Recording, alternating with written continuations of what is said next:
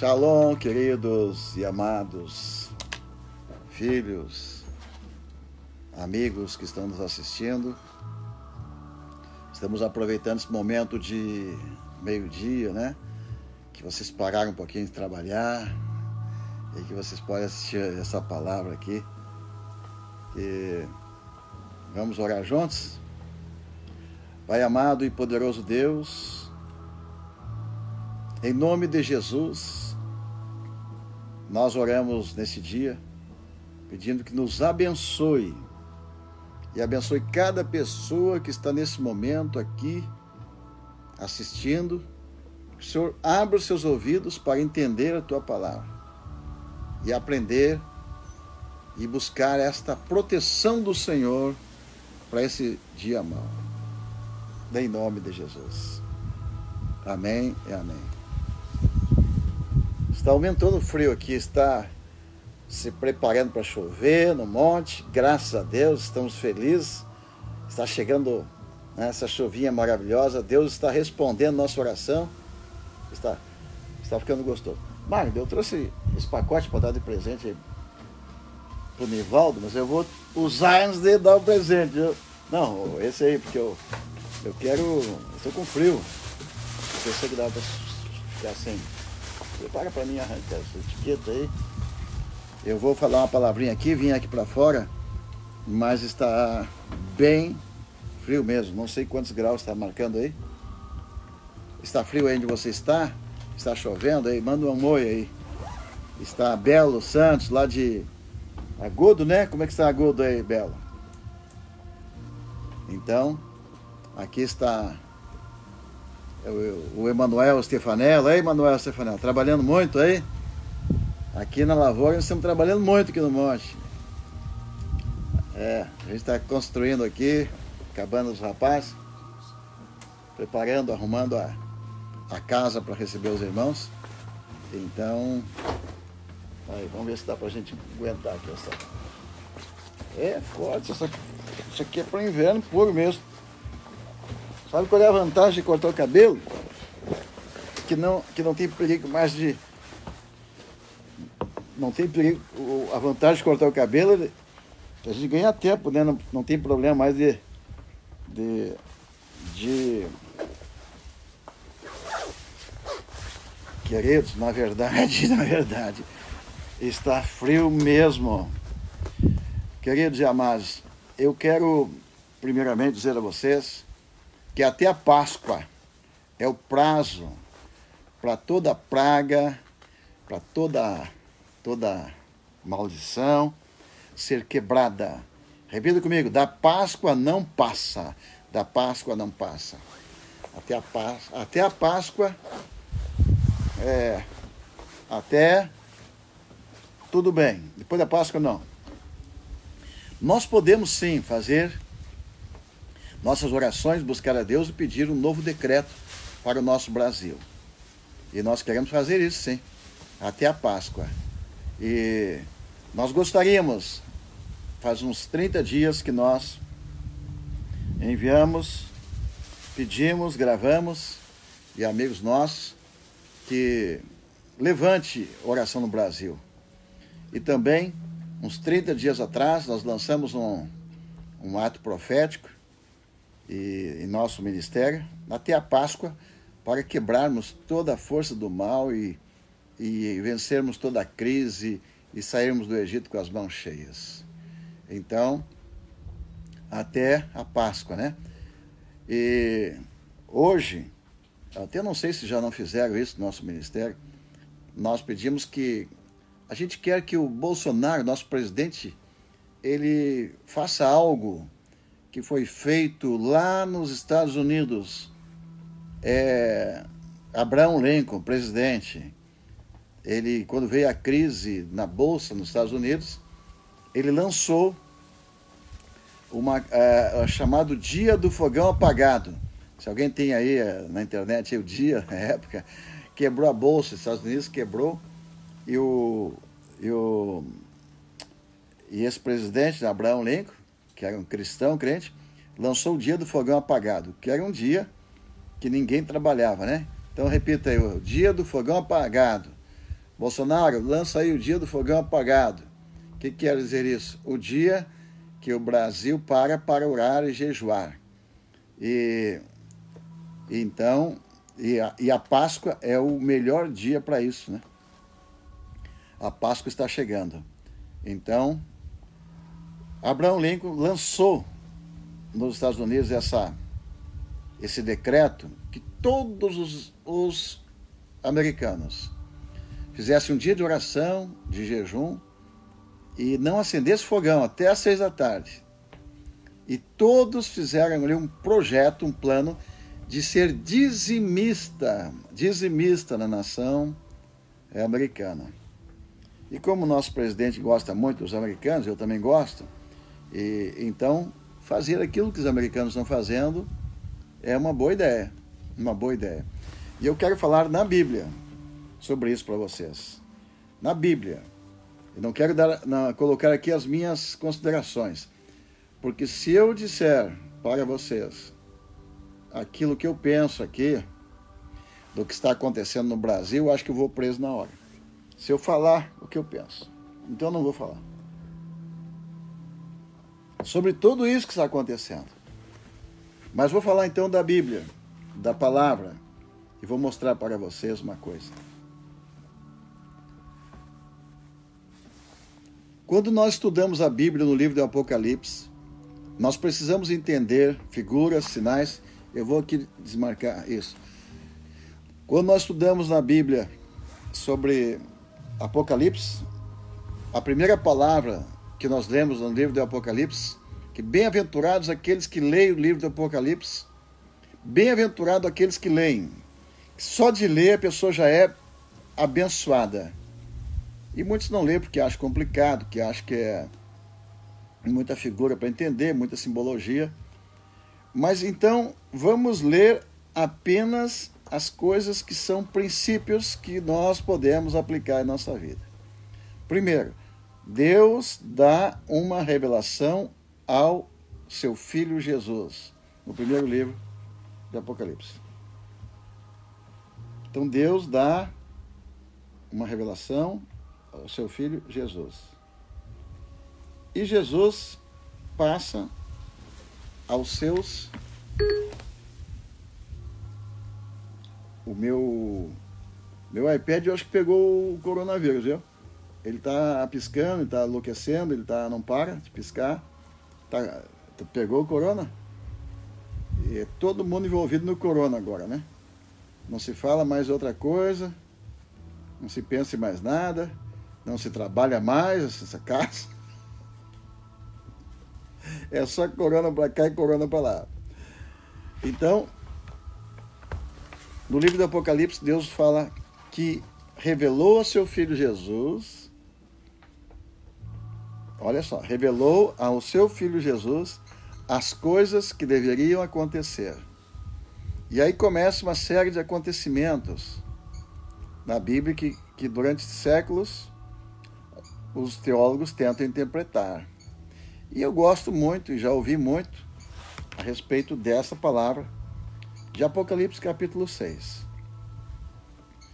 No Apocalipse capítulo 6 fala de uma sequência tá?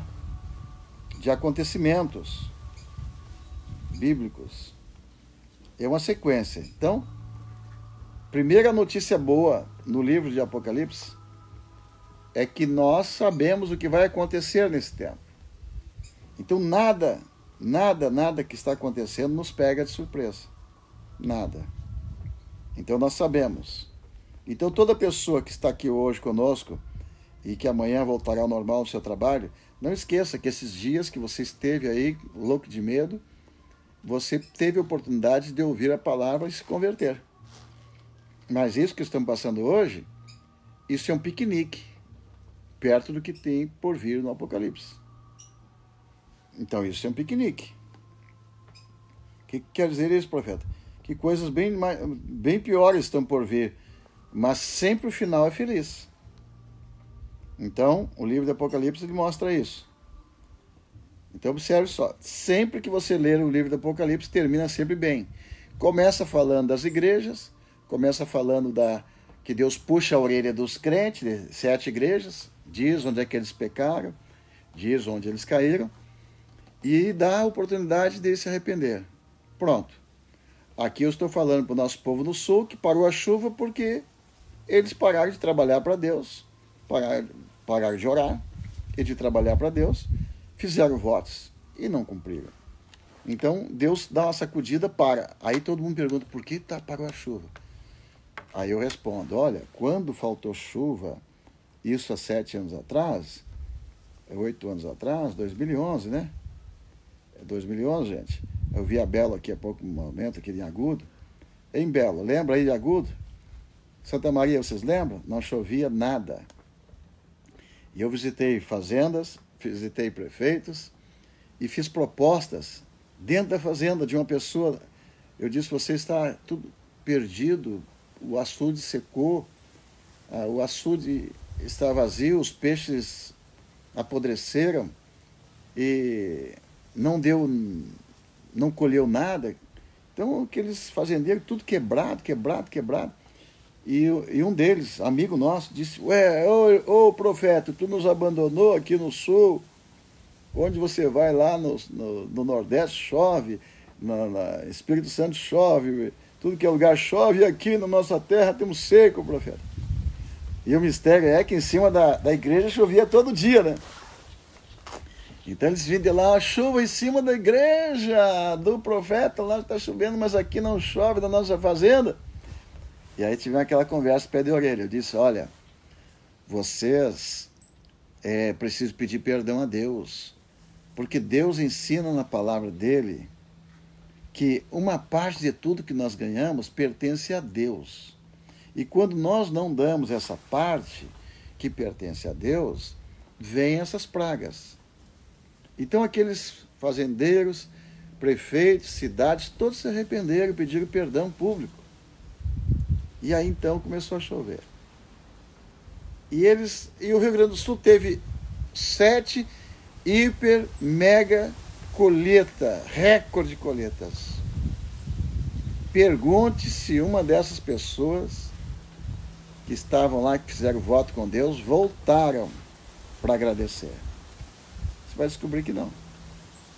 E agora estão correndo atrás de mim outra vez. E agora, profeta? Eu só digo assim, te vira nos 30, meu irmão. Te ensinei tudo que eu sabia e falei tudo que eu sabia, disse a verdade, nada mais que a verdade, não escondi a verdade, não omiti a verdade, não guardei para mim, ensinei tudo. Tá? E agora? Então hoje eu filmei hoje de manhã os últimos açudes que secaram, que ficaram no zero. Aí eu disse para Deus assim, Senhor, fazer uma oração tudo bem que, que veio a seca, que os homens pecaram, mas os animais, que culpa tem? Os animais também vão passar sede, vão morrer, olha ali os bichinhos. Então, por causa dos animais, eu pedi para Deus que mandasse chuva. Eles não merecem, né? E os animais não são ruins, não matam ninguém, não roubam, não há. Enfim, são servos, trabalham e tudo mais. Então, os animais não se desviaram, os animais não comeram do fruto proibido. então, os animais são abençoados. Muito bem. Então, eu quero ensinar você que está aqui. Primeiro, eu quero dar um panorama do Brasil. Amados, o Brasil, nesse momento, essa guerra, essa batalha, que nós temos ouvido dia e noite é, sobre essa questão de é, quarentena, é, isolamento vertical, horizontal, é, e o nosso presidente brigando para as pessoas trabalhar e todo mundo contra o trabalho. Eu quero dizer para vocês que isso é bem sério. Primeiramente, a Bíblia diz que quem não trabalha não come. Então vamos ter que analisar esse assunto. Você quer trabalhar, se você quer voltar a trabalhar, bota um cliquezinho, eu quero voltar a trabalhar. Se você não quer trabalhar, nem tem o trabalho de clicar aí. Fica tranquilo aí. Tá? Mas a consequência de parar tudo hoje, a consequência de parar de trabalhar, se todos pararem de trabalhar hoje, tá? Se todos parar devido à situação, devido à ordem do, da, do governo, é, na segunda quinzena de quarentena, que aqui no, aqui no, no estado do Rio Grande do Sul, e Santa Maria, o nosso prefeito Santa Maria pediu 15 dias para todas as igrejas parar com eh, reuniões de 30 pessoas, todo mundo parar de trabalhar, 15 dias. Nós obedecemos. Agora eu quero falar ao, ao nosso prefeito Santa Maria, ao governador do Rio Grande do Sul, ao presidente. O que pode acontecer com mais 15 dias? que as pessoas, se todo mundo parar, quer saber? Não precisa falar, né? Que Deus nos livre e que nós possamos ter o socorro de Deus para não acontecer isso que eu estou falando.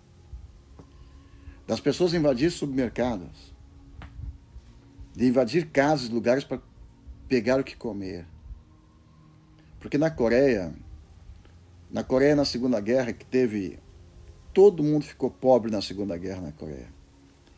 E eles criaram um ditado lá.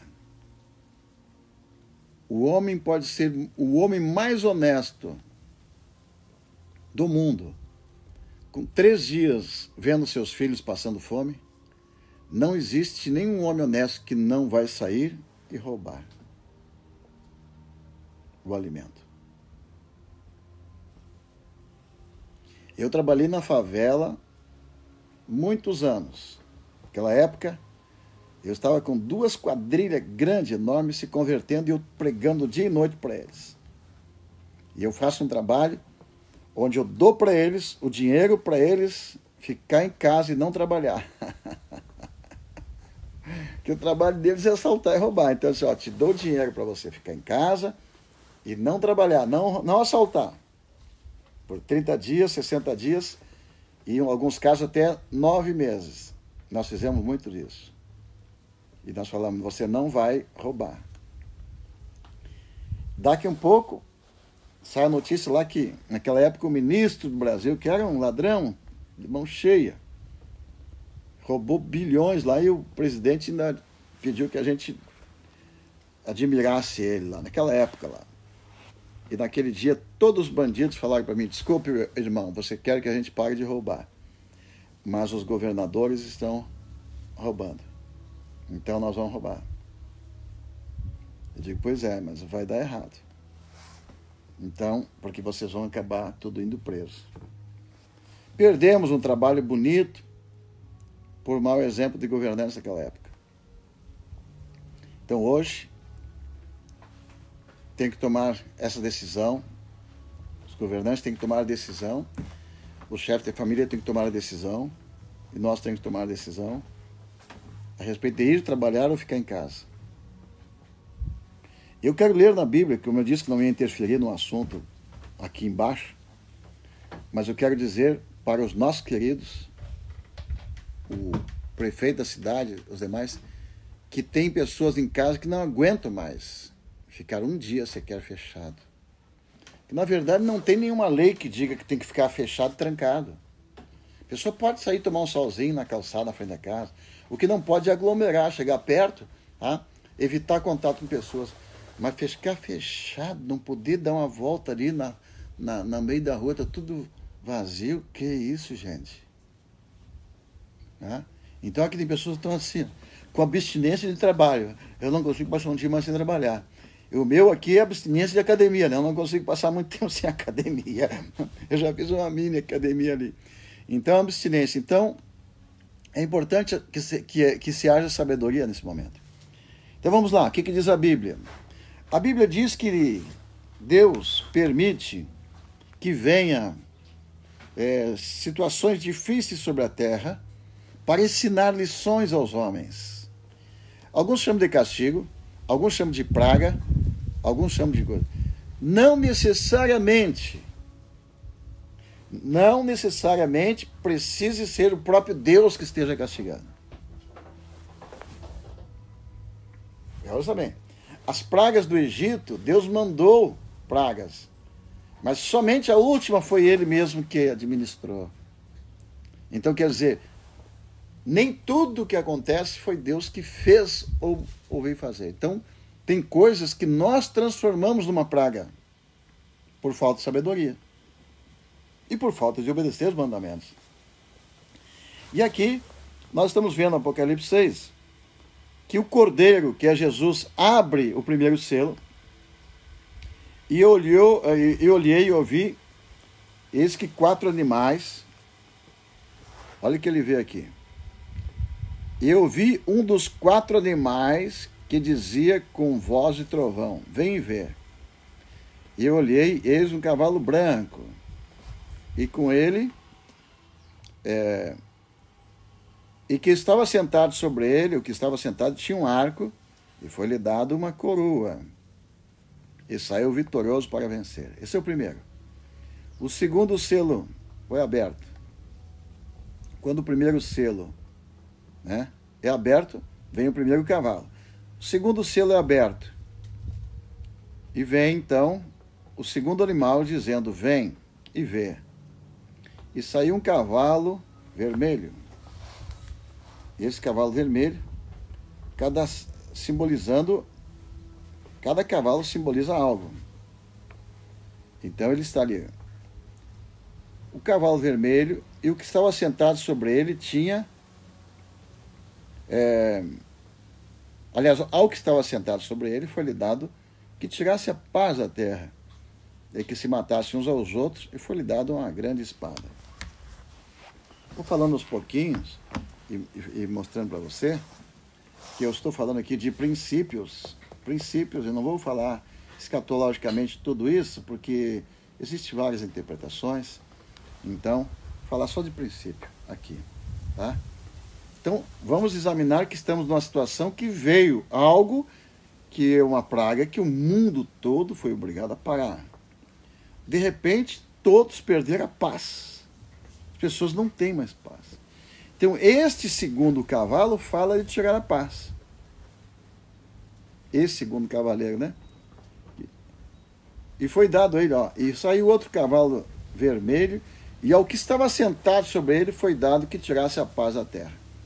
Então, essa, essa falta de paz, esse segundo cavaleiro da, da paz, que tira a paz, é importante você sinalizar, tem alguma coisa acontecendo e os homens perderam a paz. Concorda comigo? Deixa eu ver se alguém concorda aí que as pessoas perderam a paz não perderam a paz? Estão com medo? Vamos lá, fale comigo Rock. Fale comigo, Lira. As pessoas perderam a paz? Não perderam? Não estão sem paz? Não estão nervosos? Não estão agitados?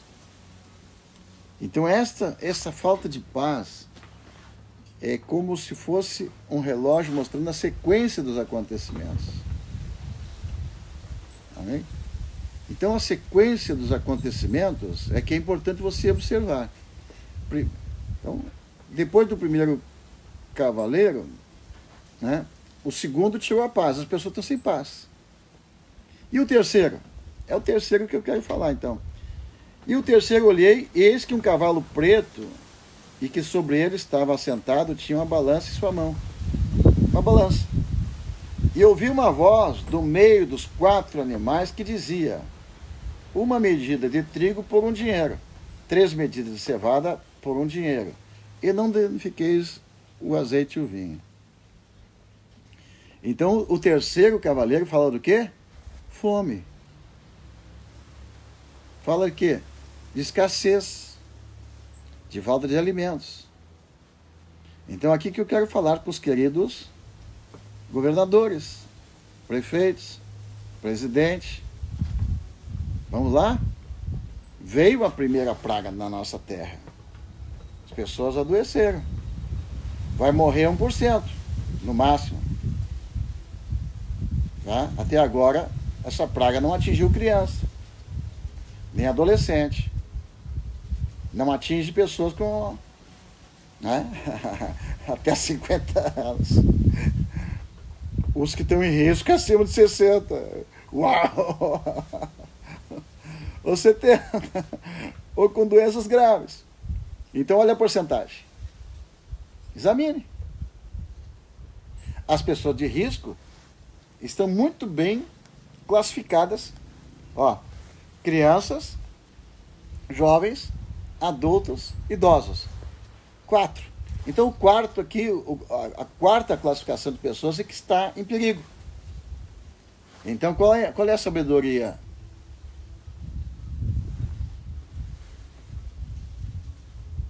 Então, o que o nosso presidente fala de isolamento vertical, isola quem está com problema, isola quem está em perigo. O que, que a China fez? Isolou a região que estava com a praga. E as outras regiões? Os outros estados que não tinham praga nenhuma, eles isolaram? Ah, estão trabalhando. E hoje estão vendendo para nós aí, gurizada. Vamos lá, todo mundo compra da China. Se eu organizar aqui, porque tem outra coisa sobre a China que não é hora de falar agora. Mas na hora certa. Mas tem coisa aí. Então, se este segundo, essa primeira onda, como dizem por aí, né? Essa primeira onda do coronavírus vai levar algumas pessoas a ficar doentes? Vai. Tá? Mas já sabemos quais pessoas. Já sabemos que criança vai ter e nem vai piscar. Adultos, muitos podem ter, mas nem vai sentir. Algumas pessoas fortes vão ter e vão ter mais que um espirro. E tem um número que vai ficar doente. Correto? Então sabemos que lá no final a mortandade, a morte, que é muito triste, é muito triste, porque nós queremos é, é vida e não morte. Nós amamos as pessoas, nós oramos para, as pessoas ser curadas, oramos para não morrer, lutamos, lutamos, lutamos por isso.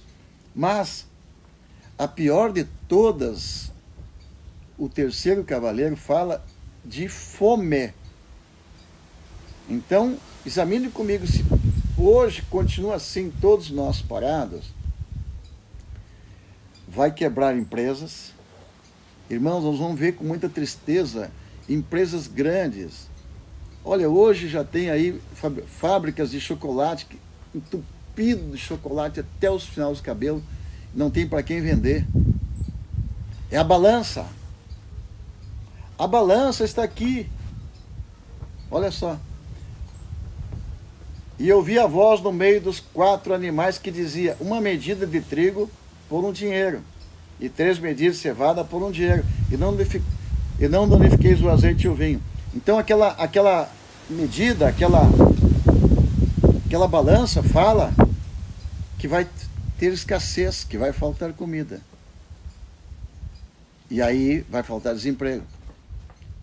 E quando falta comida, dá uma quebradeira, que Deus o livre, que é isso que tem que parar essa sequência.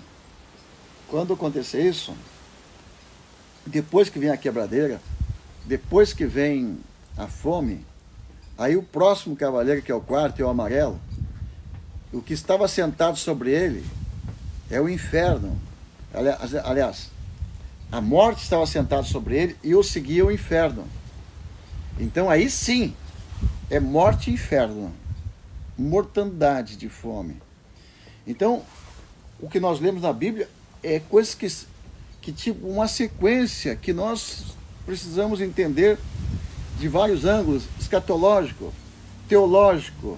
Precisamos examinar isso que de muitos ângulos, mas especialmente com o pé no chão e cabeça nas, no, no céu, né?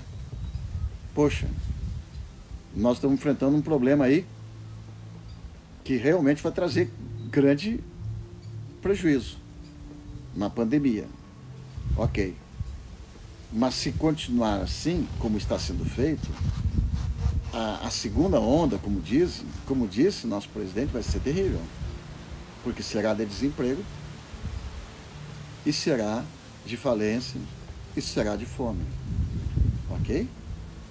Então eu quero convidar você, nós, para nós orarmos para isso não acontecer. Eu não quero que aconteça isso. Mas não é só oração que precisa. Não é só oração nesse momento. Tem que ter ação, atitude de sabedoria. Então, se eu estou com uma situação assim, e eu sou, estou governando uma região, eu vou administrar isso como se administra uma guerra. Numa guerra, os soldados e frente são os primeiros a morrer. Mas alguém tem que perguntar: você quer dar a vida pela tua nação? Quero. Então você vai pegar as armas, vai lá na frente. Os segundos, os próximos que, que estão nessa guerra, eles trabalham no abastecimento. Vão trabalhar para fazer comida, produzir. E muitos vão dar tudo que tem para comprar armas. E cada um terá que fazer um sacrifício para vencer aquela guerra. E aí, no final de tudo, ter o mínimo de baixo possível. E no final da guerra, enterra os mortos, chora e continua a vida outra vez e levanta tudo que foi derrubado naquela guerra. Então, assim, de forma natural humana. Muito bem. Agora vamos nós, crentes, cristãos. Quero falar com o meu povo e se você não pertence ao grupo que acredita como eu, te dou a liberdade de ficar em silêncio, desligar, sair, dar desculpa para ir no banheiro e assista a Globo. Mas se você é do grupo que crê em Deus e acha que nós podemos usar as armas de Deus para parar a praga, ou para não nos atingir, ou para nós não perder o emprego, ou para nós não ficar sem comida. É sobre isso que eu quero falar. Com você. Que eu tenho comida lá para uns 3, 4 dias para dar para os crentes que não perderam o emprego. Mas depois de 3, 4 dias, não sei. Estou falando para cada crente. Nós compramos um sacolão. Quando nós encerramos nossa atividade na igreja, eu disse para os nossos irmãos: procure todos os irmãos da igreja que estão sem condições de ter um 30 dias em casa e vão fornecer para ele sacolão o que ele precisa para ficar os 30 dias em casa. Os nossos intercessores, como a dona Diva, por exemplo, né? querida de idade, ou outros irmãos, irmãos, a senhora vai ficar em casa 30 dias, ou 15 dias, né? Talvez prorrogado para 30. Está, está na área de. Na, está na faixa etária de risco, acima de 50. Vai ficar em casa, nós vamos cuidar de você, sua família vai cuidar de você, nós vamos dar o sacolão, dar ajudar o que for possível para você se manter esses dias aí. Todo cuidado. Nossa igreja, nosso ministério está cuidando, sim, dos seus membros, seus intercessores, seus queridos, seus fiéis, aqueles fiéis que realmente trabalham conosco, nos ajudam, nunca, nunca recuaram nós temos o dever de tratar como tratamos nossa família. Agora tem aqueles que nunca só vêm na igreja buscar bênção e pede para Deus multiplicar seu salário, mas eles também nunca trabalham para Deus. Eles nunca pegam no pesado, eles nunca aceitam compromisso maior do que como uma vigília, como subir o monte. São pessoas que estão naquela faixa, né? A nossa faixa tem aqueles que são super crente que trabalha direto na igreja, esses continuam na igreja, esses são firmes. Tem um, um, terceiro nível que também é fiel, que sustenta a obra de Deus, que mantém firme, que é dizimista, que contribui, que está lá e não está orando aqui no primeiro nível, mas está no segundo, dando apoio, continuando. Temos o terceiro nível de pessoas também que alguma coisa sempre faz, mas tem aquele quarto nível que só vem buscar bênção todo, todo, toda semana e quer mais e quer mais e nunca faz nada para recuperar. Então, é, guarde bem isso que eu estou falando. A praga na Bíblia que vem tirar ou destruir a lavoura é, tem uma, uma causa e tem como parar aquela praga que traz a fome. Ok? Tem como parar. Então vamos lá. O povo de Israel, quando eles vão colher, tem a lavoura cheia, completa. Quando eles chega o momento de colher a lavoura, eles tiram primeiro. Antes da colheita, eles tiram a primícia, que é o primeiro molho da lavoura, primeira parte, primeiro frutinha, e dão para Deus. E pede para o sacerdote abençoar. O sacerdote abençoa e toda lavoura não tem praga. Aleluia. Toda lavoura não tem praga alguma. Nem gafanhoto, nem tísica, nem ferrugem, nem nada. E eles colhem então a colheita completa. Então, quando vem a colheita completa, eles têm a colheita na mão. Eles então tiram o dízimo, 10% do que foi colhido. E isto é consagrado. Então 90% fica com eles. E esses 90%, praga alguma pode tocar. Repita comigo. E os 90% que fica com eles, praga alguma pode tocar.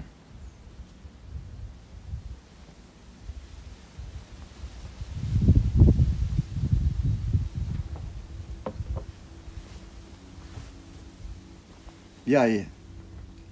Quando se fala isso, não fica todo mundo jogando pedra e falando mal de Deus e falando mal dos pastores que falam do dízimo? E agora que todo mundo vai que todo mundo vai perder os 90%, vai perder mais os 10%, vai perder talvez ah, o ganho para o futuro. E agora? Ah, pastor, pois é. E agora, aquelas pessoas que têm milhares de toneladas de alimento e jogam fora lá na Ceasa, lá, ou lá no, na, na rua em São Paulo, como a gente viu há poucos dias, milhões de quilos de, né, de alimentos que vão fora porque o, o agricultor colheu muito, mas não tem para quem vender. E agora? Liga a televisão a partir da manhã, a partir depois da manhã, se você não vai ver pessoas vendendo é, produtos pela metade do preço, as lojas mandando pacote de roupa para tua casa, por favor, escolha, fica com alguma. Pessoas que vão dizer assim, por favor, é, compre pela metade do preço, compre aqui pelo preço de custo, eu, eu, a metade do preço de custo. Aí você vai lembrar da balança. Duas medidas, né, uma medida de trigo e tal, duas medidas de cevada, três medidas, portanto, por quê? Porque perdeu o valor. Então, o, a bênção é você colher, vender e usufruir daquela bênção. Bênção é você trabalhar, ganhar o teu salário e todo ele ser protegido. E Deus pede, na sua palavra, o dízimo, o 10%. E as pessoas não dão. Então vem o juízo. E aí então acontece o que nós estamos vendo aqui no livro de Malaquias, capítulo 3. Olha o que diz. Olha só, capítulo 3 fala isso. Eis que eu vos envio meu mensageiro, que preparará o caminho diante de mim. E de repente virá ao seu templo o Senhor, a quem vós buscais e o mensageiro da aliança a quem vós desejais. Eis que lhe vem, diz o Senhor dos Exércitos. Então, aqui a palavra de Malaquias está falando que Deus envia o seu mensageiro, que vai preparar o caminho diante dele, e de repente virá ao seu templo o Senhor, a quem buscais, e o mensageiro da aliança a quem vós desejais. E, e eis que ele vem, diz o Senhor. Hoje o mundo todo está orando pela vinda do Messias. Mas quem suportará o dia da sua vinda? E quem subsistirá quando ele aparecer? Porque ele será como, será como fogo do ourives e como sabão do lavandeiro. Ele assentar-se-á com fundidor e purificador de prata, e purificará os, os filhos de Levi, e os refinará como ouro e como prata, Então ao Senhor trarão oferta de justiça. Então, quando Deus vier, quando Jesus vier à terra, já vai começar uma peneira que os filhos dos sacerdotes serão peneirados, passarão pelo fogo, serão, serão purificados com prata e ouro. Quer dizer, quem passará por esse fogo? Nós estamos passando uma fornalha, gente. Passando. Eu estou falando com pastores agora, apóstolos profetas. Não está passando por uma peneira? Não estamos passando pelo fogo? Não está ficando apertado o negócio? Não, não, não estamos passando pelo cadinho? Está afunilando? Quanto mais perto da vinda do Senhor, ele vai afunilar, ele vai purificar seu povo. Nós seremos purificados assim. O sofrimento vai nos purificar, vai nos aperfeiçoar. E agora está purificando todos, todos aqueles que roubaram a Deus na, na vida material, estão passando pela, pelo fogo. Então Deus fala aqui, ó. E assentar-se-á como fundidor e purificador de prata, e purificará os filhos de Levi, e os refinará como ouro e como a prata. Então, ao Senhor trarão oferta de justiça.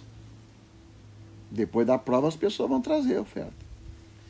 Verso 4: E a oferta de Judá e de Jerusalém será agradável ao Senhor, como nos dias dos antigos como nos dias antigos e como nos primeiros anos. Então aqui fala também que as pessoas deixaram de ofertar lá no passado, veio coisa, né? E a, e a chegar-me-ei a vós para juízo, e serei uma testemunha veloz contra os feiticeiros, contra os adultos, contra os que juram falsamente, contra os que defraudam o diarista e o seu salário, e a viúva e o órfão, e que perverte o direito do estrangeiro e não me temem, diz o Senhor. Então Deus está falando de juízo contra os feiticeiros e contra aqueles que não temem o Senhor. Porque eu, o Senhor, não mudo, diz o Senhor. Por isso, vós, ó filhos de Jacó, não sois consumidos. Agora o verso 7. Desde os dias, Deus está falando com os crentes agora. Veja bem desde os dias de vossos pais, vos desviaste dos meus estatutos, e não os guardaste. Tornai-vos para mim, e eu me tornarei para vós, diz o Senhor dos Exércitos. Mas vós dizeis: e que te havemos de tornar? E Deus pergunta aqui. Quando as pessoas dizem, mas o que, que nós fizemos de errado, Senhor? O que, que devemos arrepender, Senhor? Aí Deus diz aqui: Desde os dias de vossos pais vos desviastes dos meus estatutos e não os guardastes.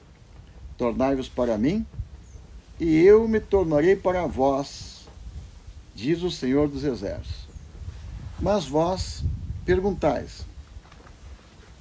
Então, esta pequena palavra aqui que eu estou falando nesse momento, esta palavra em específico, Deus está falando, primeiramente, Primeiramente, os primeiros que Deus fala e chama atenção são os profetas, os sacerdotes. Então, esta palavra aqui, nesse momento que eu estou falando, ela é uma palavra para os sacerdotes. É para os homens de Deus. Então Deus diz assim: Desde os dias de vossos pais vos desviastes dos meus estatutos é Malaquias 3,7. Tornai-vos para mim, e eu me tornarei para vós, diz o Senhor. Deus está dizendo: vocês se desviaram dos meus estatutos, e agora estou chamando de volta. Deus abandonou aquele povo, e abandonou os sacerdotes, e as bênçãos dos sacerdotes se tornaram maldição Deus tornou a bênção sacerdotal em maldição, porque eles se desviaram. Então todos os sacerdotes da época estavam desviados. E o povo também. Aí eles perguntam, mas Senhor, no que, que nós nos desviamos, Senhor? Nós estamos orando, nós estamos trabalhando, nós estamos fazendo a coisa certa. Aí Deus fala assim: Eu vou dizer onde vocês se desviaram. Onde não, vocês têm que tornar de volta. E aí, verso 8 diz: Roubará o homem a Deus?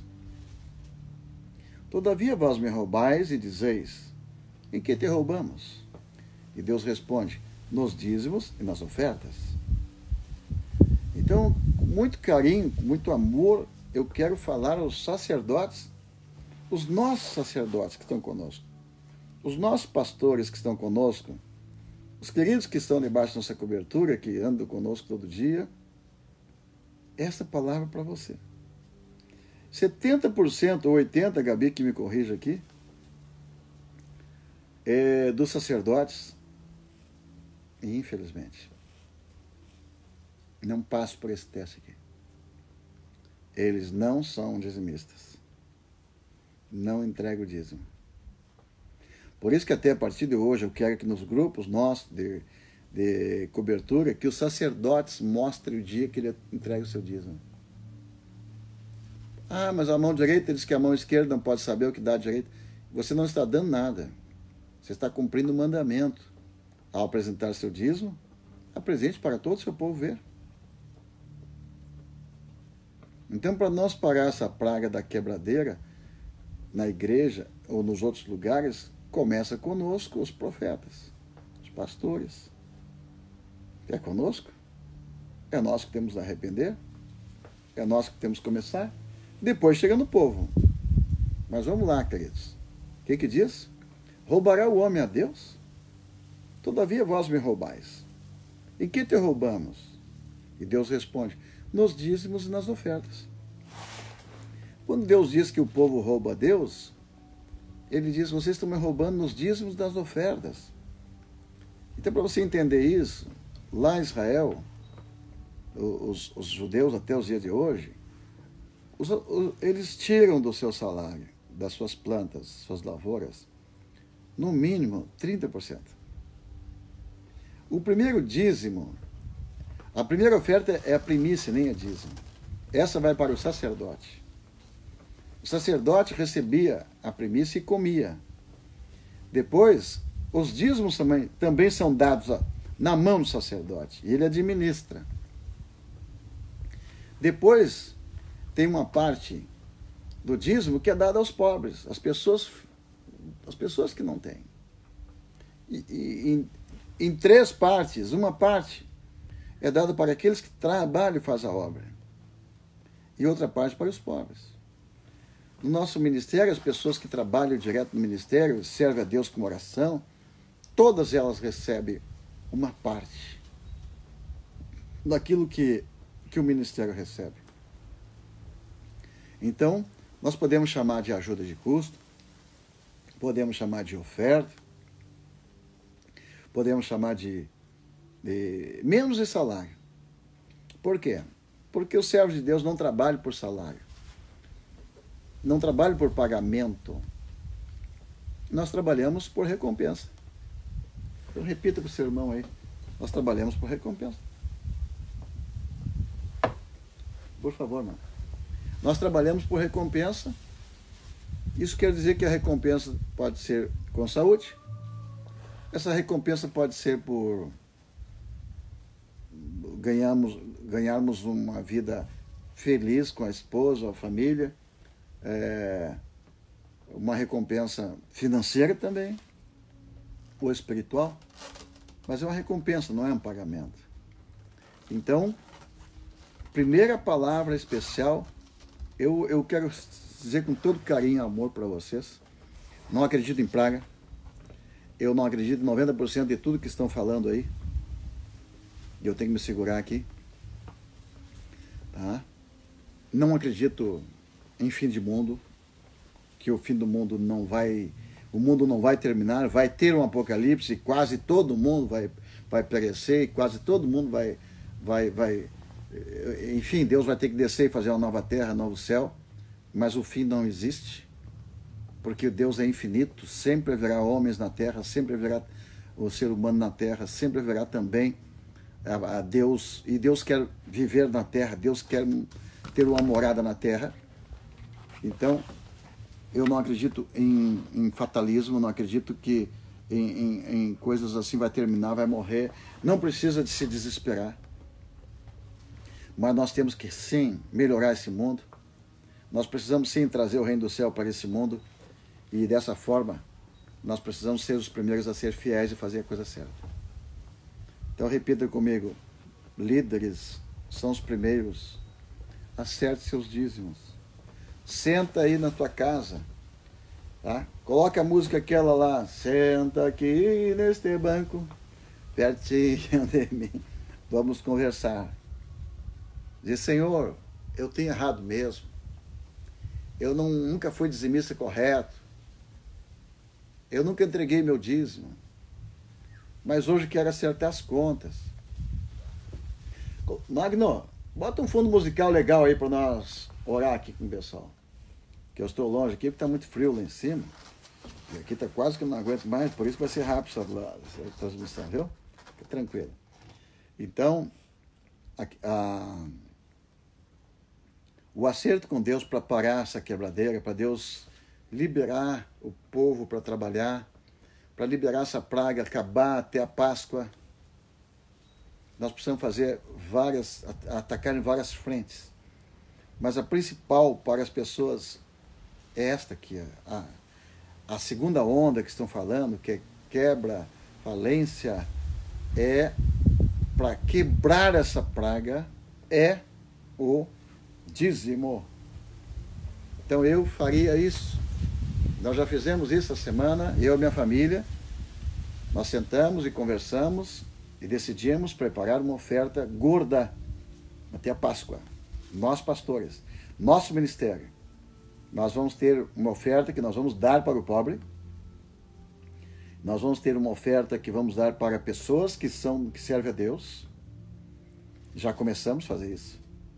Nós vamos ter uma oferta para o, o frio, as, a, inclusive você que é de São Paulo aí, você pode, eu sei que tem fábricas em São Paulo que vendem cobertores, barato, são grossos, faz três anos que quero comprar e ninguém consegue me comprar esses cobertores, eu dizer onde é que tem, é uma luta para trazer.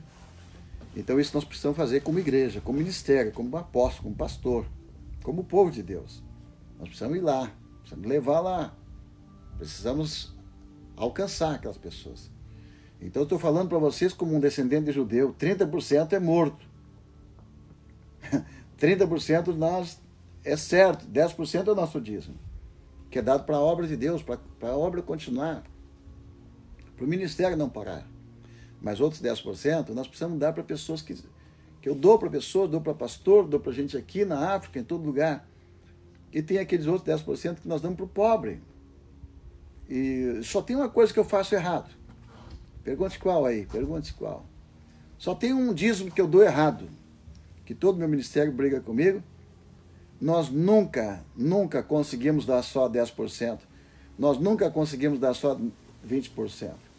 Nós nunca conseguimos dar só 30%. Como ministério, quero aqui desafiar os pastores, apóstolos. Tem muitos que falam de mim, que falam da oferta, que falam do cordeiro. Né?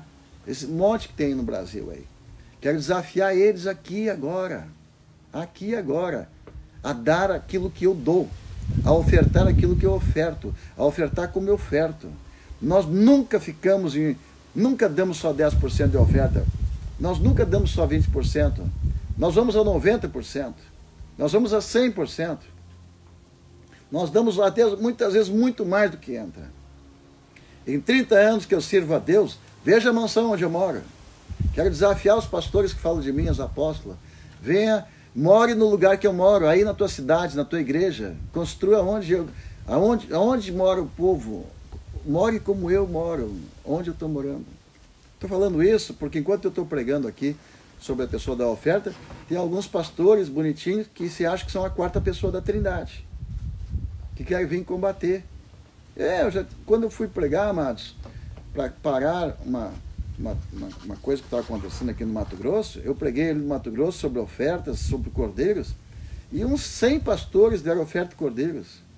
E dias depois, um deles lá, um poderoso chefão deles, ele falou por lá que era contra aquela oferta, que era uma mentira, que não é verdade, fez todo mundo rasgar os cheques.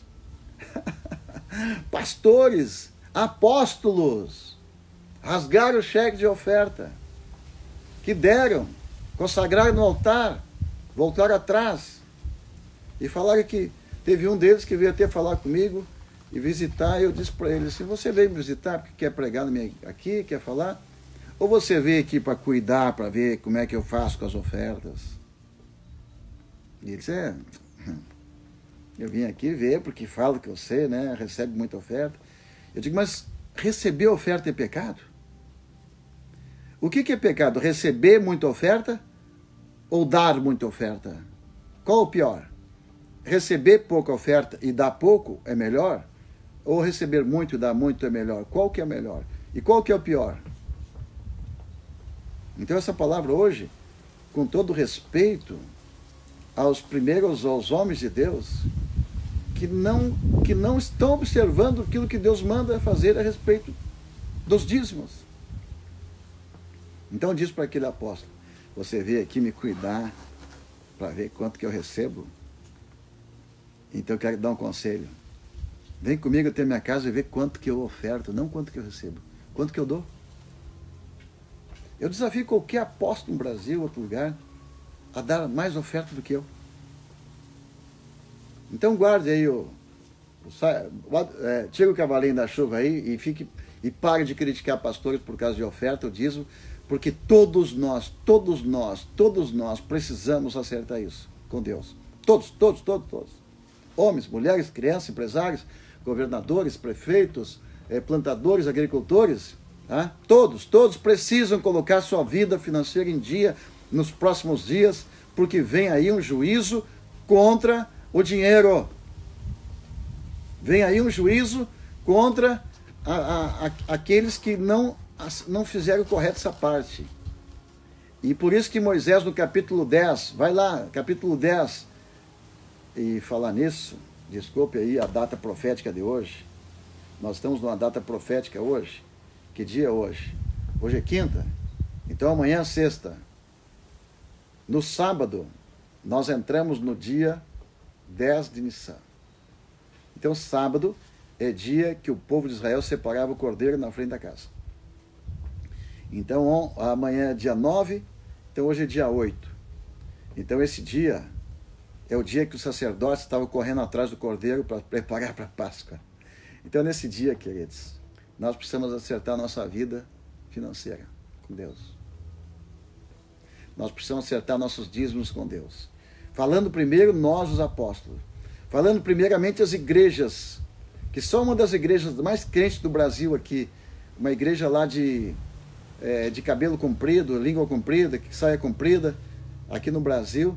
Poucos dias uma pessoa falou para mim, profeta, eu, por A, por B, eu acabei sabendo o trabalho em banco, eu sabia o saldo dessa igreja, que prega, prega, prega, prega, prega, e nunca se vê fazer nada pelos pobres, e tem lá 250 milhões ou bilhões no banco guardado.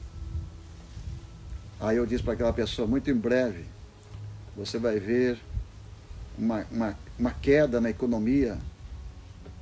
E quem sabe até aparece um Collor aí, né? que vai lá e manda tirar aquilo que não está sendo usado. Isso é por quê? Porque quando o povo peca nessa área financeira, vem uma quebradeira, vem uma falência. Então não quero me estender muito nesse assunto, que depois do meio-dia faz mal. Mas eu estou falando isso hoje, e como eu disse para você, se não gostar, desliga. Me faça esse favor. Não quero que a gente fique me assistindo se não está gostando, tá? Mas não fique criticando também, porque eu não vou lá na tua casa criticar as besteiras que você faz dentro de casa. Então, eu quero ensinar o nosso povo porque nós podemos parar essa praga. Nós podemos parar essa praga tanto do coronavírus como a praga do desemprego que está vindo aí. Mas tem que ter tem que ser algo nacional. Tem que ser algo de todos nós. Tem que ser algo que toda igreja. Tem que ser algo que todos os pastores. Não adianta, pastor, subir no altar e cobrar dízimo do povo. Você tem que dar o dízimo. Depois pode pregar. Não se prega moral sem, sem a vestimenta certa.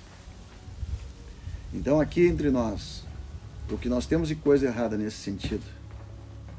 Que eu poderia, uma hora dessa, eu vou falar só esse assunto só para os apóstolos, só para apóstolos. Mas eu não quero falar isso publicamente, porque eu não quero que você fique batendo em apóstolo e atirando pedra em apóstolo, que esse é um dos segundos piores mal da nossa terra. Que qualquer pessoa fala mal de apóstolo profeta. Mas para falar mal de alguém, você primeiro precisa passar no espelho e depois ver se você tem cacife para falar. Agora, ensinar e falar das atitudes, nós podemos falar aqui. Amém? Bem-vinda, filha. Chegou minha filha ali para me, me dizer se eu estou certo ou errado. Que hoje a média de apóstolos, profetas que não dão dízimo chega a 70%, 80%. Verdade. Ou mais. Só dá o um número aí, filha. 70%, 80%? 70% a 80%. 70% a 80%. Agora vamos ver os cristãos lá na igreja. Quanto por cento que não, que não são dizimistas? Então, ponto número um. Nós pedimos perdão, Senhor, eu quero pedir o perdão. Aqui apareceu o João de novo. João Ademir Matos está conosco aí. apareceu, né, João? Estava tanto tempo com jejum na internet, né, João?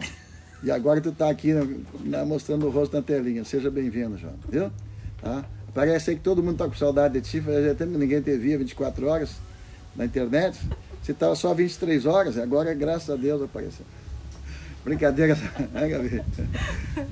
É, o primeiro pecado dos, dos, dos, dos cristãos é, é adorar a internet. É assim. Brincadeiras à parte, gente, está esfriando, tem que terminar aqui. Então vamos lá. Diga lá repreendendo a praga da, da fome, do desemprego. Todos que vão orar nesse sentido precisam atualizar os seus dízimos e a sua vida financeira diante de Deus. Começando com nós apóstolos. Então, no nosso ministério, dos nossos grupos, nós vamos postar o recibo de nossas ofertas e dízimos ali nos nossos grupos, sem medo, sem vergonha. Nós vamos dizer, eu estou dando meu dízimo, e nós vamos fazer a oração do dizimista, que lá na Bíblia tem a oração que quando você dá o dízimo, quando você dá a primícia, você ora a Deus e diz: Senhor, eis aqui, eu estou aqui diante do Senhor, eu não guardei meu dízimo, eu não. Enfim, ele faz uma declaração diante de, de Deus e apresenta seu dízimo e pede para Deus parar a praga que está vindo na lavoura, no desemprego e na fome. Então, aqui está meu convite para o meu povo, de nós orarmos juntos, nesse sentido, entregar nossos dízimos, colocar em dia e depois nós vamos juntos orar. E repita comigo: até a Páscoa. Vamos lá, até a Páscoa, todo mundo. Mão esquerda, repreendendo esse, esse mal. Diga até a Páscoa. E depois da Páscoa, acabou. Diga acabou corona, acabou eh, vírus, acabou maldição, acabou o desemprego. Até a Páscoa tem que parar, tem que parar, tem que parar. Porque imagina que Deus, Deus permitiu uma coisa dessa e agora vem a Páscoa. A Páscoa é o limite, a Páscoa é o momento, na Páscoa é o, é, é o tempo de parar toda praga. Agora, se não parar para a nação, se não parar para pessoas, para nós, os filhos de Deus, tem que parar, não cessar. Então repita comigo, até a Páscoa, na minha casa, na minha casa nenhuma praga. Não aceito praga alguma, não aceito nem doença, não aceito desemprego, não aceito falência financeira, não aceito quebradeira e não aceito preguiçoso em casa sem trabalhar. Vamos lá, todo mundo. Até a Páscoa, até a Páscoa, até a Páscoa, até a Páscoa. Não é isso que as mulheres estão falando? Não aguento mais esse marido em casa. Irmãos, marido é bom final de semana, marido é bom de vez em quando. Ficou dia e noite dentro de casa, a mulher começa a enxugar. Então, queridos pastores, gravei aqui especial para os pastores. Amo meus pastores, amo os filhos de Deus. Nunca cobrei dos nossos pastores, que a maioria né, que não dá dízimo. Mas na África, meu Deus do céu, na África, ai Jesus, na África, na África, na África. Oito mil pastores na África. Oito mil pastores na África. E eu digo assim: eu vou mandar uma oferta para vocês. E vocês pegam o dízimo da oferta e mandam de volta para mim. Ah, não vem, gente. Eu digo assim, agora eu vou dar uma oferta para cada bispo lá e vou dar uma pequena amostra para vocês, vocês dão, uma oferta, dou, dou, aquela oferta e você mande o dízimo de volta. Ah, ah, não vem, não vem, não vem. Deus sabe que quer dar cobertura para 8 mil pastores e 8 mil falidos, e 8 mil passando trabalho e não ter o que comer e, e, e eles não aprendem a dar o dízimo. Então hoje você tem que dar o dízimo. Aleluia. Hoje, nossos pastores precisam sentar, conversar. E, mas se eu não tenho, estou quebrado, pastor. Parcela. Pede a benção aí do, do, do seu líder, diga parcela em 10 vezes, 100 vezes, mas não fique com nada atrasado diante de Deus numa hora dessa, irmãos. Vamos parar essa praga. Eu estou, enquanto estou falando aqui, estou recebendo uma mensagem de. Até vou pedir para alguém que está lá no escritório atender para mim. Tá?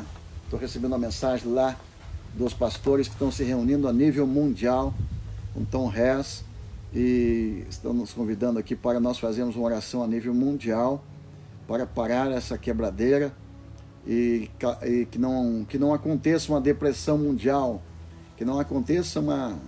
Que as pessoas estão preocupadas agora já com a segunda onda, com a, com a questão de dessa, dessa, dessa praga financeira. Né? Gabi, Dá uma palavra para esse povo aí, vou, vou virar para ti aqui. Tá? Diga alguma coisa a esse respeito aí para os nossos irmãos aí.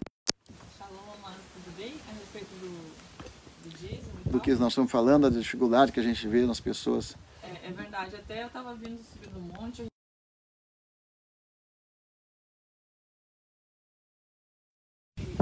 não estão vivendo nesse mundo, não estão sabendo o que está acontecendo, né? Então a gente está vivendo esse tempo, principalmente do o Cordeiro. Eu creio que é muito profético esse tempo e a gente está vendo uma praga, assim, exatamente como o povo no Egito viu. Ah, é visível, é, é, é certo, já aconteceu, está acontecendo, está pegando todo mundo, né? Então a gente tem, tem certeza absoluta que quando passar né, essa, essa, esse vírus, que é o que causa a morte. Então é o anjo da morte. Então quando passar nos lares que tem o cordeiro nas suas portas, não atingirá essas casas. Então eu creio isso, que é o tempo da gente arrumar a casa, da gente acertar nossos dízimos, da gente ter a proteção de Deus, acertar nossas premissas também. Uh, tudo. Eu acho que o tempo da gente estar em casa já estamos dando esse tempo para ter tempo de refletir, de parar, de pensar e acertar tudo. A gente não vai ser desculpa de tempo. A gente não vai poder chegar e dizer para Deus, Deus, não consegui acertar meu disco, não tive tempo. Não consegui uh, orar porque eu não tive tempo. Não consegui dar o cordeiro porque eu não tive tempo de preparar. Então, o tempo não vai ser mais desculpa. O tempo a gente tem de sobra para acertar, principalmente uh, todos, né? Os pastores, os pastores já sentem isso. Que os membros também estão abandonando parece que, como tu disse, né, esses dias na transmissão, a pior praga talvez vai ser uh, o maior sinal dos últimos tempos é que o amor de muitos esfriaria. Então a gente está vendo hoje não só então, o amor, como o temor e o respeito pelas coisas de Deus. Então amém. é isso aí que, eu acho. Amém, amém, amém. Glória a Deus. Aleluia. Eu vou voltar aqui. Só pedir para a Gabi me ajudar aqui. Eu, só afastar um pouquinho para ficar bem não muito, acho que menos ainda. Okay. Mais perto, que aí eu, eu pego aqui, ó. É, okay. que, é, estamos aqui mais perto um pouquinho. Estamos bem, como é que é? é Como tá? É, diz, isso aí, não, tá ótimo sim, tá ótimo sim. Só tá um pouquinho inclinado para cá, vou botar mais para cá. Aqui, ó, só baixa aqui esse aqui. Vou levantar aí, esse. Tá inclinado aí. É. Bolsonaro ganhou a eleição assim, né? Arrumando. Não. tá bom assim, tá bom. Deu aí, gente? Tá retinho aí? Ok, então, é, concluindo, quando vem praga, nós precisamos nos converter dos maus caminhos, nos humilharmos, confessar nossos pecados e pedir perdão. Então nós já fizemos isso. Raspamos a cabeça, oramos, jejuamos e continuamos orando e jejuando. Mas existem atitudes que nós temos que tomar Se quiser gravar no teu também, Gabi, vou falar agora para as pessoas da igreja. As pessoas, repita comigo, a igreja fechou, mas a porta do céu não se fecha jamais. A igreja está fechada, mas a boca dos profetas não está fechada e nunca se fechará. Ok? O mercado pode estar fechado. A, empre... a tua empresa pode estar fechada. Ou você está em casa e não pode trabalhar. Mas Deus pode prover em qualquer lugar, independente da empresa, independente do emprego, Deus pode prover para você que é fiel. Agora, se você não é fiel nos seus dízimos, não espere que Deus venha trazer o pão na sua casa. Não espere. Então, primeiramente, os pastores, eu dei uma palavra que todo pastor deve pegar seu dízimo, a sua oferta, e quando ele for entregar e pedir para ser consagrado, entregar para o, o apóstolo para consagrar aquele dízimo, ele deve mostrar para o seu povo, mostrar para os seus obreiros. Estou entregando. Eu aconselho os apóstolos que mandam para mim o seu dízimo, eu digo, eu aconselho você a fazer isso na frente da tua igreja. Mostra para eles que você é o primeiro que faz isso. E depois posta no grupo e mostra que você fez. Ah, mas não é mostrar, não sei o quê. A mão esquerda não sabe a mão direita. Quando você dá uma esmola, dar uma esmola é tão humilhante para quem recebe e para quem dá, que uma mão não pode saber o que a outra fez. É bom não saber mesmo, não toque flauta porque deu uma esmola. Agora, quando você entrega seu dízimo, é um mandamento. Então você dá o exemplo, o pastor dá o exemplo entregando o dízimo. Ok. Agora os membros da igreja, as pessoas. Queridos, todos nós, para vencermos uma situação de praga, todos nós precisamos estar bem com Deus e em dia. Eu lembro aqui em Santa Maria que aconteceu que parou de chover, acho que foi 70 dias ou, ou é, 120 dias, né? E a previsão de chuva era só para os próximos 60 dias ou 30 dias. Então, uma seca terrível. Se alguém está lembrado da data aí, escreva aí, nos envie. E e veio na nossa, no culto ali na, no Bombril, onde estava pregando, veio o, o dono do jornal Folha de Santa Maria, o Flávio, o senhor Flávio, e disse, ô oh, profeta, todo mundo está fazendo jejum, oração para vir chuva e tal na cidade. Romaria está sendo feita, os umbandistas estão fazendo, o quimbandista está fazendo, os espíritas estão fazendo, e vocês vão fazer? Lá no Bombril. No momento eu respondi para ele, olha, eu não tem por que fazer, porque é algo assim público, porque depois ninguém vai saber qual o Deus que atendeu.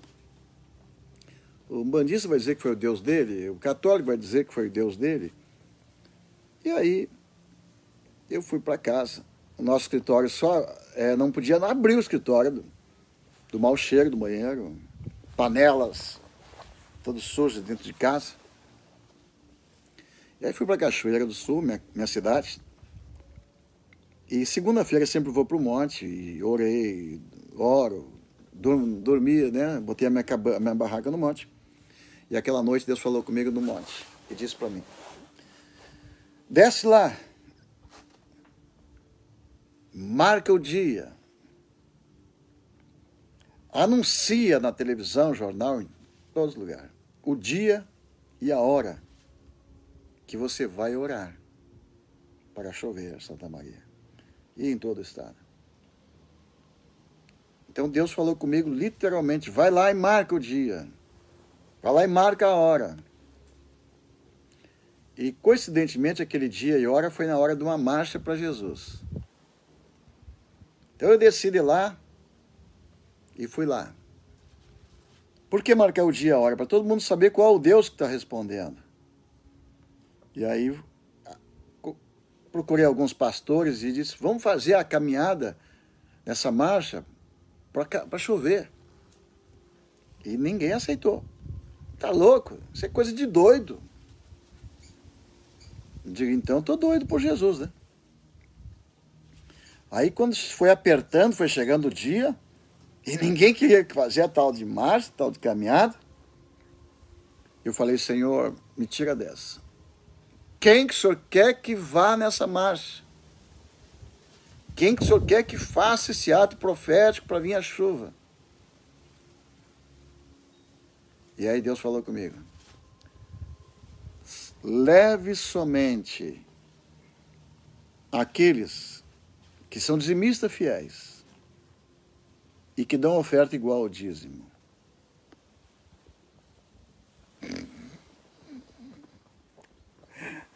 Aí que diminuiu mais o número ainda. Aí que diminuiu quase total. Diga agora eu estou roubado. Vai dar só eu e a família, Senhor. Percorremos em toda a região, né? em todas as províncias do reino. Os cavaleiros foram atrás de pessoas, bateram nas portas e proclamaram: tem alguém aqui que dá o dízimo e oferta firme todo, todo mês. E encontramos lá a família Stefanella, primeiro, até hoje. Ó a, né, a dona Stefanella é a primeira aqui. Tá? Então, ali na família Stefanella foi um, foi um lote de gente, né? E cada família aqui, total, 39 pessoas. Comigo, 40. E nós fomos para quarentena, aliás, para 40 pessoas, lá na frente do, do, do, do, do prédio da antiga Rádio Imembuí, na Praça Saldanha Marinho, ok? Tudo, tudo, tudo é, acompanhado pela imprensa, queridos. Hã? Na cidade dos feiticeiros macumbeiros, na cidade da Nova Era, no forte da, da Nova Era, em Santa Maria, nós fizemos o desafio da chuva, desafio de Elias, aquele dia. Então, sim, mandamos a mensagem para todo mundo. E aí, quando chegou na hora, se não me engano, deu um sábado. Por favor, se alguém encontra aí, manda essa mensagem. Eu até gravar um, uma nova uma matéria sobre isso. Né? Ontem eu falei com o Isaías Romero, que até eu ia no, dar uma entrevista no programa dele, ontem não pude, que, que, que acompanhou também essa, essa caminhada. Nós estamos ali na praça, e duas da tarde, para fazer aquele ato profético, fazer uma caminhada ao redor do escritório. Tinha o escritório ali bem na frente da nova era. A briga com a nova era estava acirrada. Né? A briga com os feiticeiros estava acirrada. E chega na hora que nós fizemos o cerco para orar, chega o Flávio, do jornal Folha de Santa Maria, com uma, film, uma, film, uma máquina de foto, que nem era filmador, e meio acordando, né, depois do meio-dia. E eu disse: O que, que você veio fazer aqui? Eu vim filmar a chuva, tirar foto da chuva. E é, você não disse que ia chover? E filmar, tirar foto. E eu quase que desanimei ali, gente olhei para o céu assim, nem uma mãozinha de um homem de novo tinha. E eu disse para os irmãos: vamos fazer a nossa parte. Dobrar os joelhos e oramos o Pai Nosso de joelhos. E quando terminamos de orar, começou a pingar do céu. Pergunte o quê?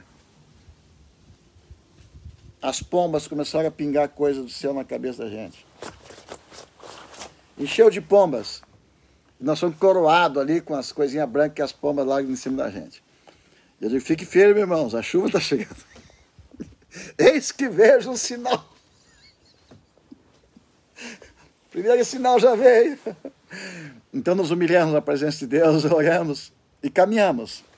Descemos a rua da Imembuí. Alguém se lembra da rua? É uma avenida muito conhecida. Não é, não é presidente, é. Floriano Peixoto não é também. Mas enfim, que desce ali, aquela rua que desce. Lembro que nós passamos pela foto Eleonora. Passamos pela foto Eleonora. Quando chegamos perto dali onde que é o. A, por favor, querido. Quando chegamos ali perto da. Onde é a churrascaria hoje, bovinos, bem naquela região. Aqui a gente não ouve nada. Quando nós chegamos bem pertinho ali, uma irmã gritou: Ô oh, profeta, olha lá em cima! Vinha as nuvens numa velocidade. Cabia, não tem jeito, rapaz, lá. É. Mas uma velocidade que vinha aquelas nuvens escuras, assim, gordas, recheadas, vinham contra nós, assim contra nós. Vinham, Irmãos, o filme é, dos Dez Mandamentos é fichinha para aquilo que aconteceu ali. Tá? Os Dez Mandamentos, vem aquela nuvem enorme, né? E desce. Aquela nuvem veio para cima de nós assim, numa velocidade que. E uma irmã gritou lá assim: Profeta, eu vou ter que sair da caminhada para correr lá em casa e, e, tirar a roupa da, do varal, que vai chover. Eu digo, mas irmã, tu vai parar a caminhada? Nós estamos orando para chover, para correr lá para cuidar da roupa, irmã. Isso é hora de cuidar da roupa. E é verdade. Lembra que estava a Zenaide conosco? É, dá uns nomes aí. Fátima, se alguém está aí assistindo, a Jô Belmonte, não sei se estava, família Bueno, não sei se estava, mas muita gente daqui estava lá e viram aquela nuvem vindo. E ali na frente do Flávio, se alguém lembra o sobrenome do Flávio também, dono do, da, da, da Folha, jornal Folha de Santa Maria, e ele disse, é, ele participou daquela chuva, e veio aquela chuva, e mais de 300 municípios do Rio Grande do Sul tiveram a salvação das suas lavouras. Ô, mano, aconselho lá o menino lá para ele, assim, ó, tá? Dá um conselho para ele lá. É um conselho para ele, aquele conselho bom que você sabe dar para os irmãos quando a gente está. É, isso, ativa aí, isso. Então, queridos, aconteceu isso aqui em Santa Maria. Santa Maria não tinha mais água. Naquela época não tinha reserva de água em Santa Maria. Naquela época não tinha reservatório. Estava todo mundo apavorado com medo de morrer de sede. Nós juntamos nosso povo. Apenas 40 irmãos que eram fiéis dizimistas. E fomos para a rua. Aleluia. E quando nós estávamos no início da caminhada, não chegamos à metade, a chuva veio. E ali o dono do jornal, como testemunha, presenciou, tirou foto. E trezentos e poucos municípios foram salvos. Ainda deu para recuperar a plantação. E nós viemos aqui para o monte, com uma cabaninha pequenininha, e ficamos dentro da cabana Continuamos orando para chover em todo o estado e choveu. No outro dia, Folha de Santa Maria, Rio Grande do Sul, Santa Maria, no jornal, é, é esse o mesmo nome? A Folha? Jornal Folha de Santa Maria. Coloca lá, no editorial do jornal, dizendo, queridos e tal, editorial, o dono do jornal, o Flávio, o seu Flávio, ele coloca lá no jornal assim: a chuva estava prevista para daqui a 30 dias ou 60 dias, mas um grupo de irmãos do Ministério Engel se reuniu para orar pela chuva Ore para Shalamai, eu sinto a presença de Deus. O Senhor é maravilhoso, Senhor. Eu sei que o Senhor pode tirar a nossa nação desta praga, Senhor. Eu já vi o Senhor agindo. Eu te conheço, ó Deus. E eu te louvo, te adoro nesse dia. E eu confio em Ti, Senhor.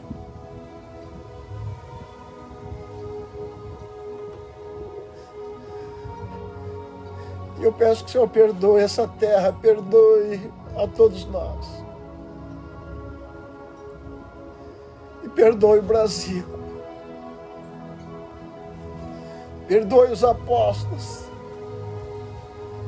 Os profetas, pastores, os membros das igrejas. E envia a tua chuva, Senhor Faça de novo o que o Senhor fez.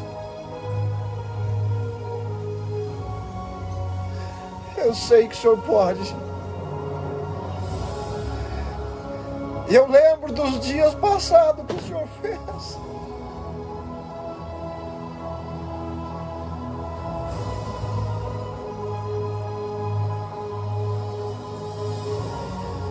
eu não posso concordar que continue essa praga. Que ela cesse, Senhor. Que venha a nossa Páscoa. Que venha a Páscoa sobre a nossa nação brasileira. Que as igrejas dobrem os seus joelhos. Que nosso presidente dobre os joelhos nessa Páscoa.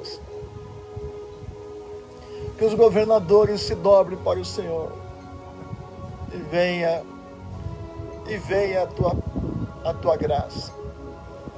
Sopra o teu vento e leva para longe, Senhor, esta praga. Ouça nossa oração, ó Deus. Por amor aos animais que não fizeram pecado nenhum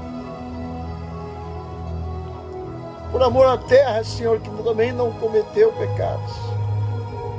Por amor às crianças. Por amor às viúvas, os órfãos. Por amor à tua casa, Israel. Por amor à tua igreja, Senhor. Ouça a nossa oração. E salva a nossa terra, Senhor. Em nome de Jesus. Em nome de Jesus. Irmãos, perdoe, não consigo. Chega nesta parte, não consigo. Deus pode. Deus pode. Eu já vi Ele fazer tantas vezes. Mas não está na mão dele hoje, está na nossa mão hoje. Está em nossas mãos. Então olhe para as suas mãos e diga: futuro da minha família, da minha cidade, está em nossas mãos. A resposta para esta praga, a saída, a solução hoje está em nossas mãos, em nossas mãos. Eu sei que é Deus, mas Deus está dizendo: se o meu povo, se o meu povo se humilhar, orar, me buscar, se converter de seus maus caminhos, eu ouvirei o céu, a sua oração e sararei a sua terra. Oh, recaparachá. É que não está ali. Recaparachá. Oh, recaparachá. Eu quero orar nesse momento. Eu estou sentindo, mudou o vento aqui, mudou a temperatura. As nuvens estão aqui, Senhor. Os céus estão cobertos. mas só o Senhor pode liberar chuva. Os médicos estão aqui, Senhor, prontos para trabalhar. Mas só o Senhor pode curar. As igrejas estão reunidas para orar.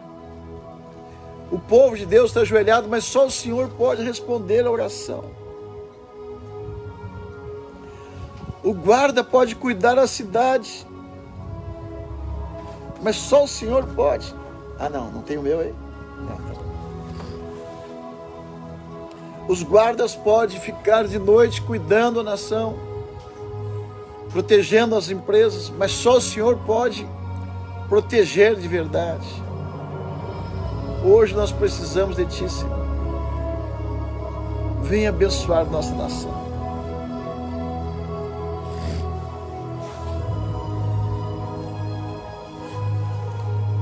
Me dói mais meu coração. Eu sei que não está hoje, que Deus, o quanto Deus quer. Eu sei o quanto Deus quer acabar logo com tudo isso. Mas Ele é um justo juiz, Ele é justo. Eu sei o quanto Jesus quer parar com isso tudo. Eu sei o quanto o Espírito Santo quer trazer a vitória completa aos, nossos, aos seus filhos. Mas a Bíblia diz qual é a solução. Se o meu povo, que se chama pelo meu nome, se humilhar e orar e se converter dos seus maus caminhos, se converter dos seus maus caminhos, então ouvirei do céu a sua oração e sararei sua terra. E desde já estão abertos os meus ouvidos e abertos meus ouvidos para toda oração que se fizer nesse lugar. Então Deus quer, Deus pode. Então, primeiramente, nós apóstolos precisamos acertar nossa vida com Deus. Depois, os membros da igreja. Nós somos um corpo só, não, não é só os apóstolos, não é só profeta.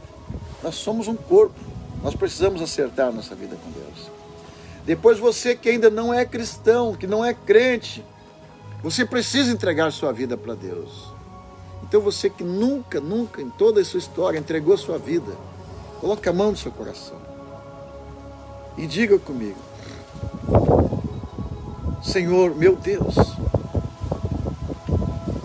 eu ouvi esta palavra, eu quero entregar a minha vida, eu quero abrir meu coração e entregar a minha vida ao Senhor. Eu recebo no meu coração o Senhor Jesus. E prometo que a partir de hoje eu vou me converter, eu vou mudar, eu vou buscar a tua presença, eu vou acertar a minha vida com o Senhor. Eu te peço, Pai, cesse essa praga, salva a nossa família, salva a nossa nação, salva a nossa economia, salva nossos empregos nossas empresas. Salva, Senhor, a nossa nação da fome e da praga da miséria e da escassez. E que se feche agora, Senhor, as portas do inferno. Que se abra as portas dos céus. Que se abra as empresas. E que o teu povo volte à sua vida normal. E a nossa nação continue com ordem e progresso e continue avançando, prosperando, vencendo para vencer. Em nome de Jesus. Diga em nome de Jesus. Eu abençoo a minha terra. Eu abençoo a minha pátria. Abençoa a nossa nação. Amém, amados? Então, quero concluir essa transmissão. E onde eu comecei? Dizendo que a primeira onda que estão se falando aqui no Brasil, que vem através da enfermidade, ela passa. Ela não dura muito tempo. Mas a segunda onda, estou falando segunda onda, é um nome que está sendo dado, que a onda de desemprego, de falência. Esta pode levar muito, muito, muito tempo para voltar ao normal. E esta segunda onda, ela é conhecida na Bíblia como uma praga, como um devorador que vem e que o único jeito de proteger é a entrega dos dízimos. Olha o que diz Malaquias capítulo 3. Deus pergunta assim: Roubará o homem a Deus?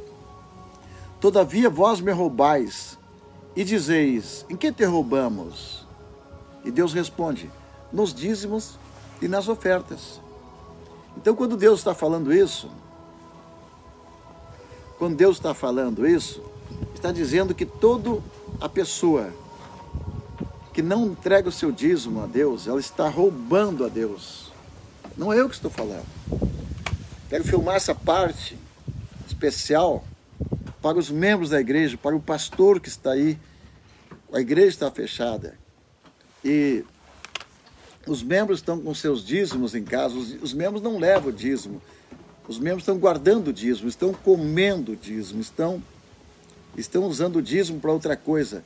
Queridos, a viúva de Sarepta, uma mulher que nunca entregou dízimo nem oferta, quando o profeta foi na casa dela, a primeira coisa que ele disse para aquela mulher, o profeta Elias, a primeira coisa, ele disse: mulher, faça primeiro um pão para mim. Tá? Traga aqui um pão para mim. A mulher disse: não tenho pão, não tenho nada, não, a não ser um pouquinho de farinha, vamos fazer aqui um pãozinho e vamos morrer. Eu e meu filho vamos comer, beber e, morrer. É a última coisa que tem em casa. Então o profeta disse: Não temas, mulher. Então essa é a palavra para todos vocês.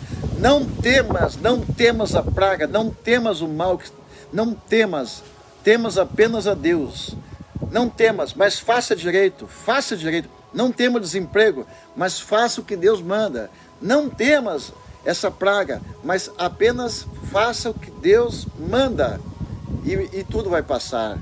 Então o profeta diz: Não temas, vai lá e faz primeiro para mim um bolo e eu vou comer e depois abençoar a tua vida. Não faltará, não faltará mais nem farinha, nem azeite na tua casa. E a mulher fez aquele pão, deu para o profeta, ele abençoou. E não faltou mais farinha, nem azeite. Por todo o resto do tempo de seca, nunca mais faltou nada naquela casa. O filho depois morreu. O profeta orou e o filho ressuscitou daquela mulher. Então isso quer dizer que você não tem que ter medo da praga. Tem que ter medo sim de estar falhando com Deus. Então, o que, que é o segredo daquela mulher? Qual o segredo daquela mulher? Quando o profeta disse, mulher, tu vai fazer o último pãozinho e vai morrer. Então esse último pão, ele é uma primícia. É a parte que você nunca deu para Deus. Vai lá e dá para Deus esta parte. E aí então Deus vai fazer multiplicar e nunca vai te faltar. Então hoje Deus está falando com você exatamente isso. Você tem que pegar o dízimo, consagrar o dízimo e aí Deus vai guardar, vai separar, vai multiplicar o resto do salário.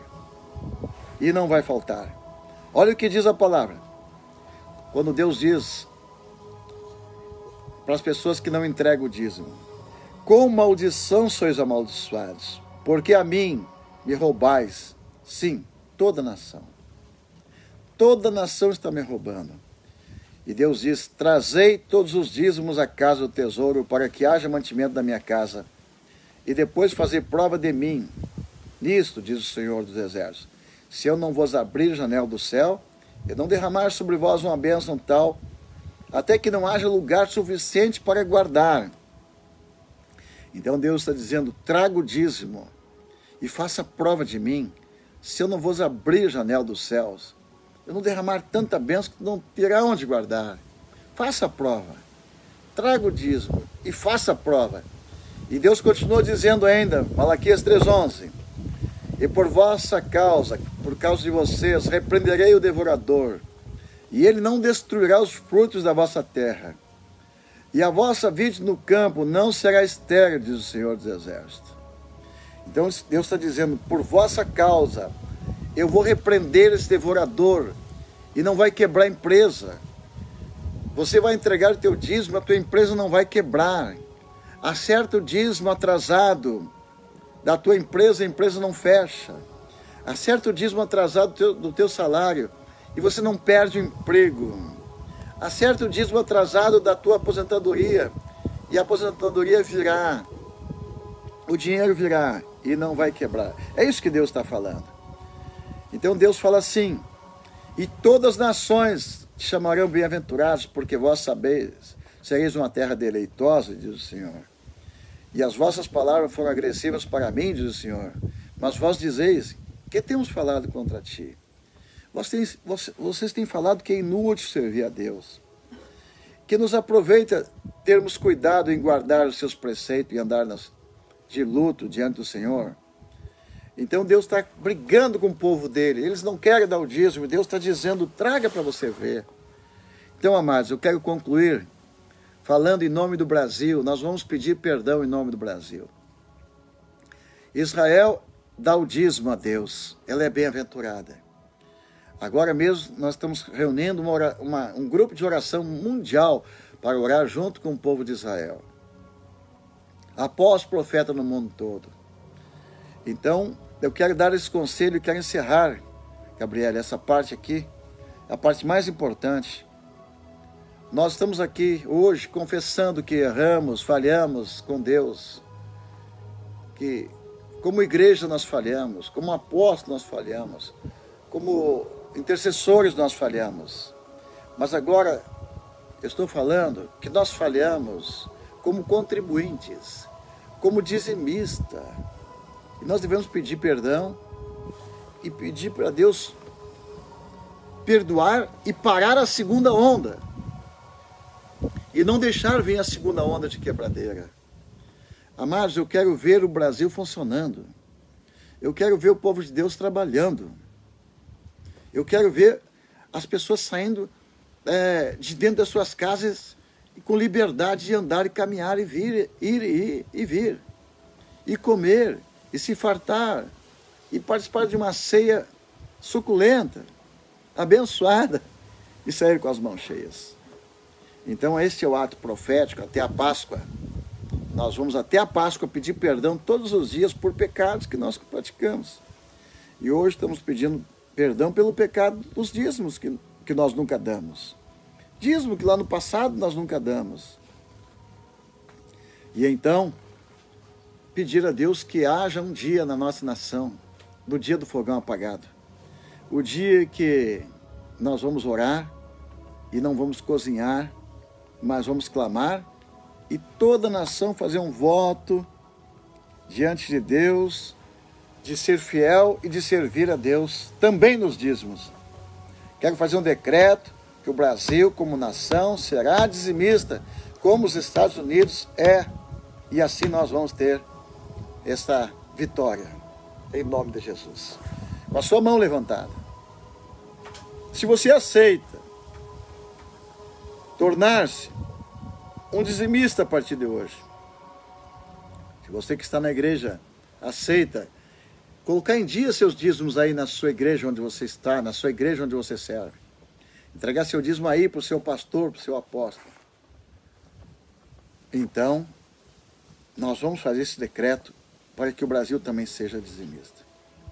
Diga comigo, Pai, em nome de Jesus, nós estamos reunidos como cristãos nessa, na nossa nação para confessar que realmente temos roubado do Senhor roubamos ao Senhor nos nossos dízimos e nossas ofertas.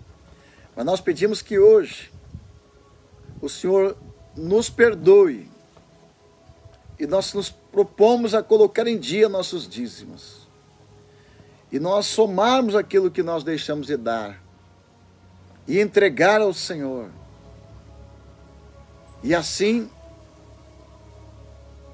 pedir que estejamos quites com o Senhor e pedir perdão e, e também restituir e pedir que o Senhor nos perdoe e nos cubra com teu sangue e não permita que essa praga roube nossos salários, a nossa comida, que esse devorador não entre em nossa casa, que a fome não entre em nossa casa, que ela fique do lado de fora, ou seja, levada para longe que os nossos empregos sejam preservados, que os salários sejam preservados. Nós oramos em nome de Jesus. Digo que assim seja. Que assim seja. Então aqui está o decreto.